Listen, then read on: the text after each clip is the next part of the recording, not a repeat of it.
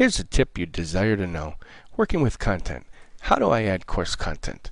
Well, there's a few different ways that we can add content into our course. Let's define content first. Content can be files you upload from your computer, files you create in the D2L HTML editor on the fly.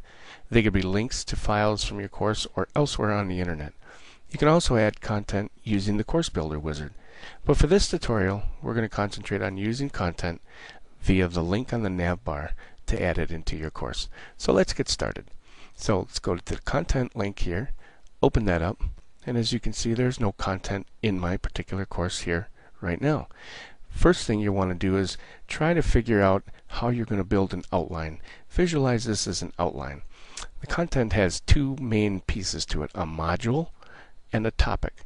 Now a module is just a category or a space holder. Topic is the actual file that you're going to upload or use and link, so to speak, within that content area to the particular file. So let's build a couple of modules just to show you how we can get started here. So I'm going to click on New Module and I'm going to put a title in. The first module I'm going to put in is Course Materials. Now this might be my syllabus, um, contact information, other things. I'm going to build one module here. I'm going to say Save and New so I can go right back into building another new module. This one I'm going to call Internet Sites. This might be links that I want that are relevant within my course. And I'm going to save and new this. And now I'm going to build one more module. And I'm going to call it Lecture Slides. And this might be particular slides, PowerPoints, presentations that I've done in class that I want my students to see. So I'm going to save this. You'll see what we have for um, modules. Go back to the Manage Content area you'll see that I have three modules up there now. No topics, no files yet. So let's add a topic. Topic again is the file. I could add it choosing this link here, but I'm going to go right on this line over here. It's the same little icon. If I point on this, it says add topic. That way I know it's going to go right into this particular module. So I'm going to add my syllabus. I'm going to click on this. I have four different options. I'm going to create a new file add a course file, upload a new file, or quick link. Since I already have my syllabus created in either a Word doc or a PDF, I'm going to upload it right now. Choose upload. I'm going to call it syllabus. You'll see that it's going into this module and I'm going to browse for this particular file on my computer. Once I browse, I know I have it on my desktop. So I'm going to search down through here and we'll see about syllabus here and I've created one in a PDF style.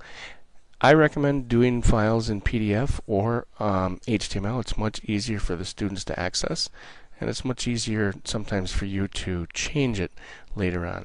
So here's the file I'm going to upload. It's going to put it in this particular course path which is going to be my manage files area on this particular course. So I'm going to say save and you'll see it added that file right here.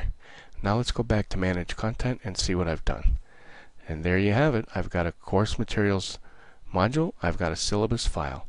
If I want to see how the student actually sees this, click on view content and this is what the student sees. Now they would click on this particular file and it would open up.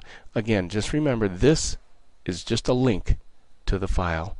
That is the content topic and the file is actually sitting in my manage files area.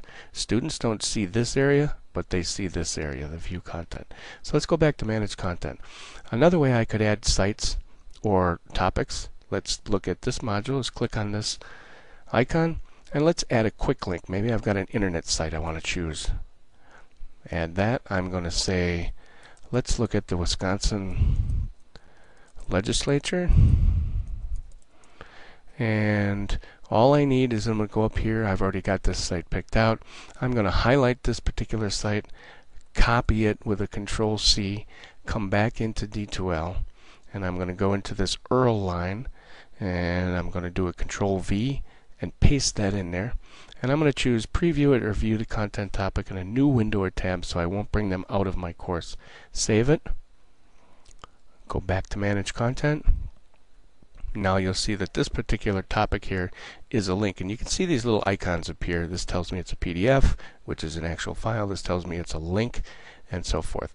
And if I wanted to add in my presentations or PowerPoints I would just add topics in this particular um, module.